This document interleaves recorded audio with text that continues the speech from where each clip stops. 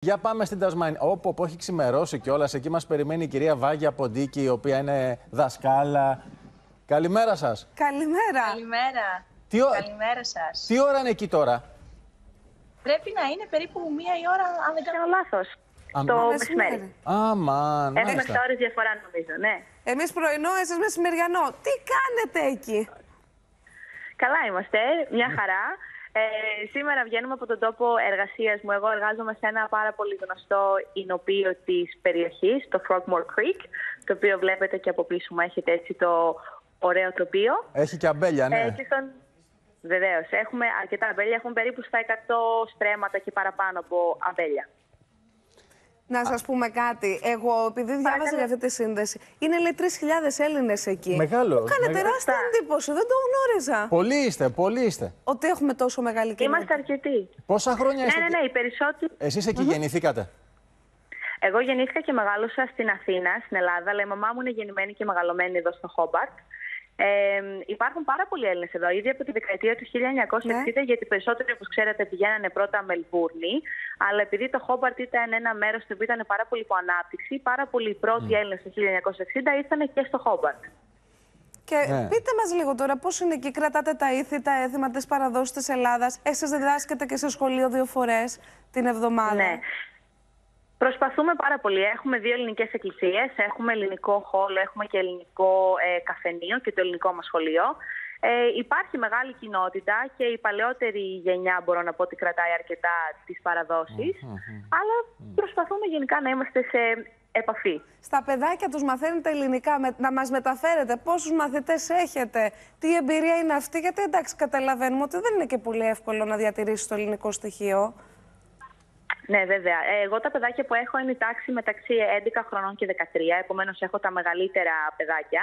Ναι. Είναι η δεύτερη με τρίτη γενιά Ελλήνων πλέον στην, ε, στην Τασμανία. Επομένως τα ελληνικά δεν τα μιλάνε πάρα πολύ καλά και κάνουμε μία φορά την εβδομάδα για τρεις ώρες περίπου ελληνικό σχολείο. Επομένως είναι πάρα πολύ δύσκολο με μία φορά την εβδομάδα τα παιδάκια να μάθουν. Κυρία να Ποντίκη, μιλάνε τη δηλαδή το πρωί τα παιδιά κάνουν μάθημα ε, αυτό που, Ναι. συ- αυτά που μιλάτε στην Τασμανία, δηλαδή τι γλώσσα έχουν εκεί πέρα; Αγγλικά. Αγγλικά. Ωραία. Α, και, το απόγευμα, και το απόγευμα μία φορά την εβδομάδα τουλάχιστον και δεύτερη όταν τα καταφέρνετε, κάνετε και ελληνικά για, να, έχουν- για να έχουν την επαφή. Είναι δεύτε, δεύτερης γενιάς, έτσι και Ακριβώς. τρίτης, μάλιστα. Ακριβώς, ναι, ναι, ναι.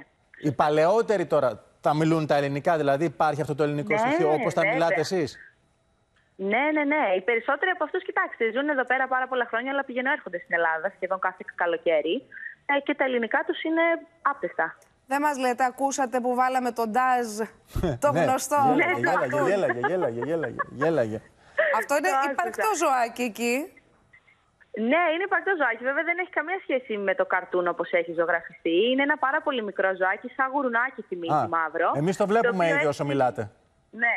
Έχει πάρα πολύ κακό δάγκωμα αυτό. Αυτό είναι που ξέρω και δεν ζει πλέον ελεύθερο στη φύση. Είναι μόνο μέσα σε ζωολογικά πάρκα.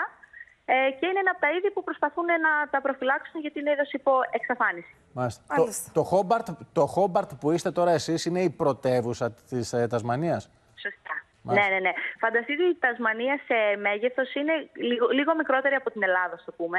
Το Χόμπαρτ είναι πρωτεύουσα και έχει περίπου τώρα 500 με 600 χιλιάδες.